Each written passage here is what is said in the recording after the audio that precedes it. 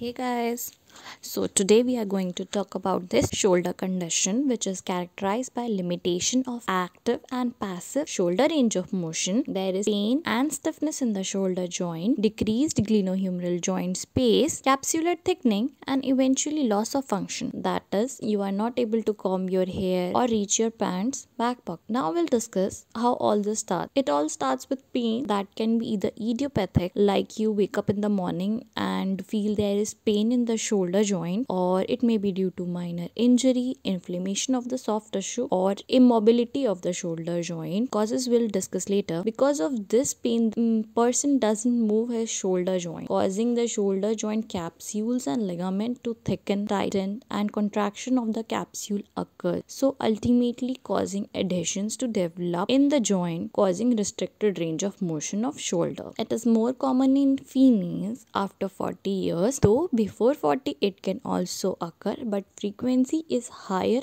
after 40 causes of frozen shoulder. Causes can be idiopathic minor injuries or medical conditions like diabetes mellitus or thyroid and many other repetitive movement immobility that can be due to fracture or pain or using sling for any reason like in stroke. Some of the difficulties a person feels in her or his daily life are pain in reaching the back pocket combing hair, bathing, washing hair, dressing up like uh, pain in putting your jacket, tucking in your shirt, donning a belt or lifting object overhead, sleeping in sideline position on the affected side. Adhesive capsulitis is divided into three stages. Stage 1 that is the freezing stage, stage 2 that is the frozen stage and stage 3 that is the thawing stage. But before stage 1 there is a pre-freezing stage in which the the patient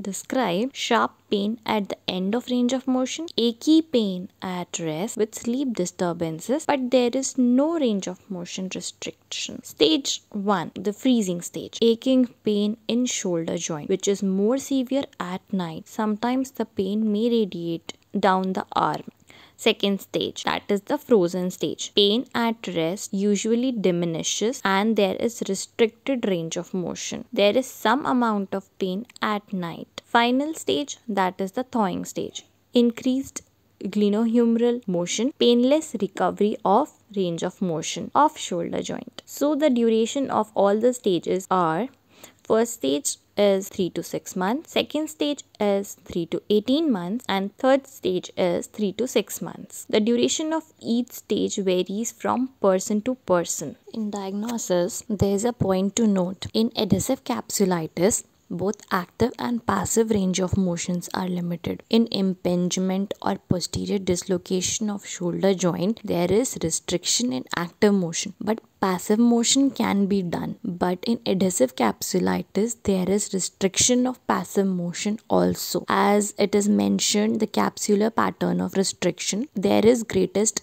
restriction in external rotation, then abduction, and then lateral rotation. But overall, there is restriction in all the shoulder movement. Evaluation of adhesive capsulitis must include age, gender, occupation, and history of any trauma or injury to the arm. Pain assessment, passive and active range of motion of shoulder joint, manual muscle testing of shoulder and scapular muscles, posture assessment, and ADL assessment is also important. These are some guidelines you must read.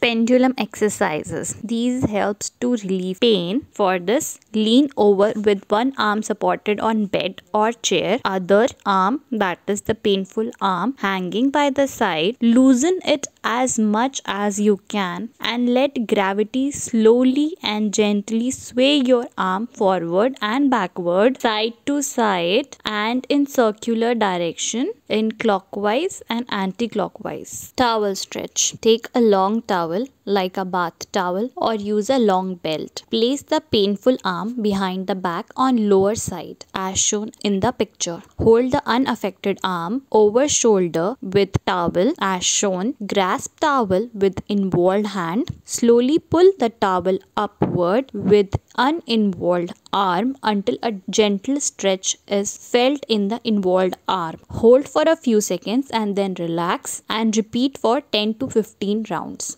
Finger walk. Let's see how to do it. Face the wall, keep one arm distance and your hand should be straight. Reach out at the wall with elbow straight and fingertips of affected arm at the wall. Slowly walk your fingers up the wall until you feel some stretch in your arm. Hold on for few seconds then slowly lower the arm by fingers climbing down then stand sideways with your affected arm facing the wall. Walk up the wall with your fingertips with elbow straight and then walk down. Repeat these two processes for 10 rounds initially and then increase as per your endurance. Cross body reach you can do it in standing or sitting position. Your back should be straight while sitting. Stretch the affected arm out across the body diagonally. Bend the unaffected arm from elbow and hook it under the affected arm supporting it as shown in the picture. Hold the stretch for 10 to 20 seconds and then relax and repeat. Arm stretch. Place affected arm on a shelf about chest height or a wall. Hold on to shelf or the wall and lean your body forward until a stretch is felt in your shoulder joint. Hold for a few seconds at the end range and then relax. In pulley exercises, we normally do shoulder flexion and abduction. Put a chair against the door and sit. Grasp the pulley handles with both hands. Pull down the pulley with good arm. This will lift your injured arm up over your head. Put it as high as you can. Hold for a few seconds and then relax. This is shoulder flexion. Now shoulder abduction. In the same position, abduct your